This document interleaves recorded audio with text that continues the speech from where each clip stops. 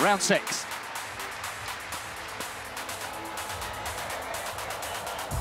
Wow, brilliant.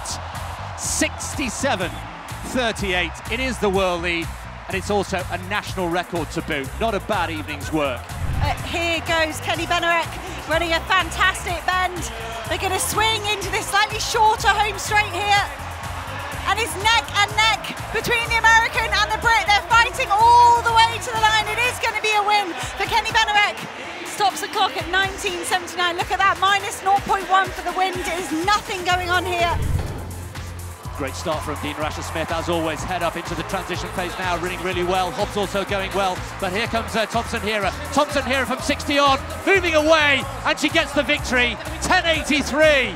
Wow, best performance of the year so far for Thompson-Herah. And now Femke Bol, the world champion, starts to separate herself from three strong Jamaicans behind. But it's Femke Bol with one hurdle left. She clears it smoothly. She powers away from the rest of the field. She's miles ahead of the green line. The wave-like technology, that means it is a new meeting record. Nita in pursuit, but Jackson is away. Jackson against the clock. Let's keep an eye on it. Lights out. Arms pumping. The knees are high. Can she get there on the line? Remember 21.34. Oh, she's just outside. 21.48. It's the fourth fastest time in history.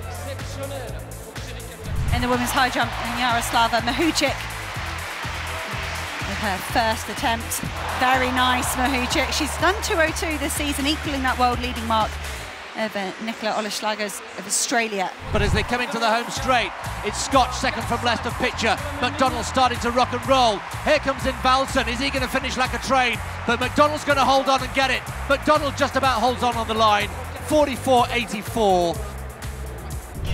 Mondo Duplantis has the competition wrapped up. He's chosen to put the bar at 6.10 next. Give himself a stepping stone. Oh, that, that was big. He's ahead of the lights into the home straight. Everybody on their feet. Are we going to see some history here from Jakob Ingebrigtsen? This prodigious talent. He's miles ahead. He's going to smash the world record. 444.79 is the target. He's done it. It's a world record. There you go, he says. I'm back. Never, never write me off. Ingebrigtsen is back with a bang in Brussels.